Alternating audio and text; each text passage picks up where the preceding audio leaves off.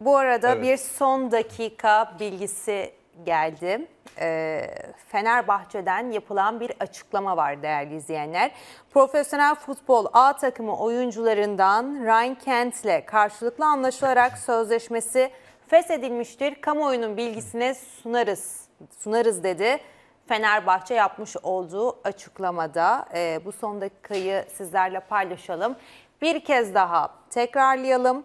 Ee, Profesyonel Futbol A takımı oyuncularından Ryan Kent'le karşılıklı anlaşılarak sözleşmesi feshedilmiştir. Kamuoyunun bilgisine sunarız dedi. Fenerbahçe bu ayrılığı resmen açıkladı. Yapmış olduğu açıklamada. Evet Fenerbahçe Ryan Kent'le e, yolları ayırdı ve şu an farklı bir konuya e, geçtik. E, bunu da bir konuşalım. Tabii ki şöyle detaylar da geldikçe izleyicilerimize an ve an e, aktaracağız. Geçen hafta tutmayan transferleri yapmıştık. Evet. Ee, En başına sabahtan belli olsaydı bu haber herhalde bugüne de onu ekleyebiliriz herhalde. Ryan Kent e, olmadı Fenerbahçe'li bir türlü. E, ilk transfer edildiğinde İsmail Kartal mı istememişti? Ya Şu anda da Jesus ekranlarınıza varken, yansıyor. e, dakika Jesus varken galiba transfer ediliyor. E, tabii Glasgow İsmail Kartal gelince de daha doğrusu Jorge Jesus dönemindeyken transfer ediliyor. E, yaz kampında katılıyor Fenerbahçe'ye ve İsmail Kartal'la kendisi yapmış olmadığı için belki bu transferi e, ve oyun sisteminde ona da yer olmadığı için e, bir de üzerine Tadiç gelmiş. İrfan Can var zaten. E, şans vermedi. Verdiği maçlarda belki oyuncu e, o şansları kullanamadı ve Fenerbahçe için hem de kendisi için kariyer açısından e, kötü bir transfer olarak hatırlanacak.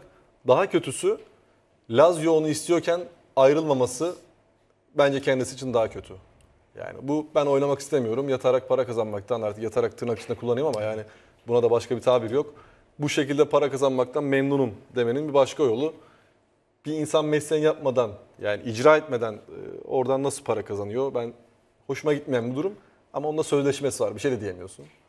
TBT Futbolda- futbol etiketine bekleyelim bu arada Ryan Kent'le ilgili yorumları. Sıcak bir gelişme. E, bu yol ayrılığını nasıl değerlendiriyorsunuz? Tabii bu anonsu yapmadan izleyicilerimizden gelen bazı yorumlar var Ryan Kent'le ilgili. Mesela bir izleyicimiz demiş ki e, gelirken bile bence A kalite bir oyuncu değildi.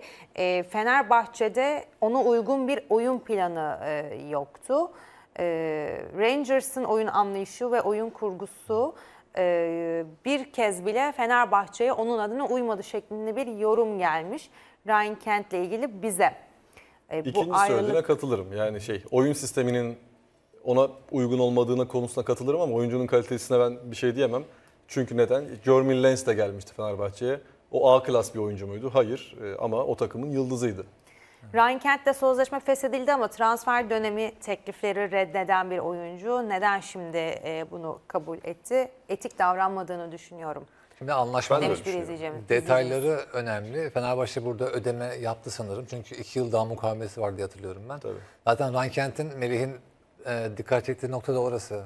Kalıp iki yıl daha kalıp öyle ayrılacağım. Bütün alacağımı alacağım dediğin gibi yani bu yatarak kazanma oluyor futbolda. Çok sık yaşanan bir şeydi. E, Ryan Kent'in Mourinho bu sene sadece bir maçta ona görev verdi. Sanırım Şampiyonlar Ligi'ndeki ilk maçtaydı hatta. Açılış maçında olması lazım. Ben de Belki tam emin değilim. Lugano maçı olabilir. Evet. İlk maçın ilk 11'ini almıştı diye hatırlıyorum. Ondan sonra bir daha süre alamadı. Yani İsmail Kartal, Mourinho iki tane tecrübeli hoca size şans vermiyorsa bir aynaya bakmanız gerekir. Ve Ray Kent'in şu an ayrılığı başarısız olup gitmesi bambaşka bir olay. Ama şu an tamamen para için kalırım, giderim yani ayrılmam. Antipatik bir duruma düştü kendisi için Türkiye kariyeri. Yani yolu açık olsun ne diyelim.